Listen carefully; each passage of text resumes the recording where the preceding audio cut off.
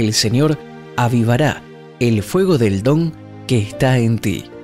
Llenará tu corazón de entusiasmo para que progreses en el uso de tus dones, que te encaminarán a ejecutar el plan que trazó para ti. En 1 de Pedro capítulo 4 versículo 10, la nueva traducción viviente dice, Dios, de su gran variedad de dones espirituales, les ha dado un don a cada uno de ustedes. Úsenlos bien para servirse los unos a los otros. Muchos están desenfocados y confundidos en cuanto al plan de Dios para sí mismos.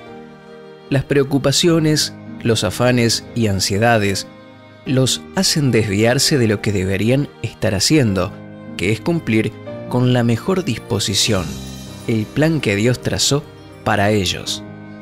Alejarnos de nuestros dones naturales y espirituales nos trae descontento, vacío, sentimos que algo no anda bien. No podemos alcanzar una total plenitud interior. Si este es tu caso, debes empezar a dedicar un poco de tiempo, día a día, a realizar algo que te acerque a progresar en aquello que alguna vez soñaste.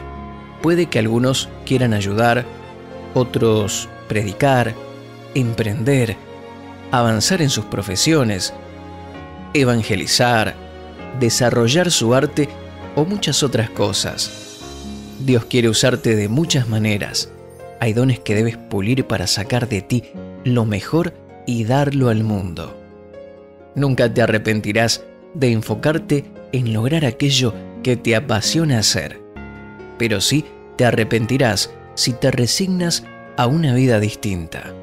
Tu don, tu llamado, tu vocación, tu ministerio son cosas que arden en tu corazón, fluyen desde tu interior. No los asfixies, sueña en grande, no te distraigas del plan de Dios ya que una puerta grande te espera. Oremos así. Dios Padre, renuncio a las distracciones y afanes que me distraen de mi verdadero llamado. Unge y libera mis dones para que puedan resplandecer. Ayúdame a desarrollar mis talentos. Lo pido y declaro, en el nombre de Jesús. Amén. Gracias por compartir este tiempo con nosotros.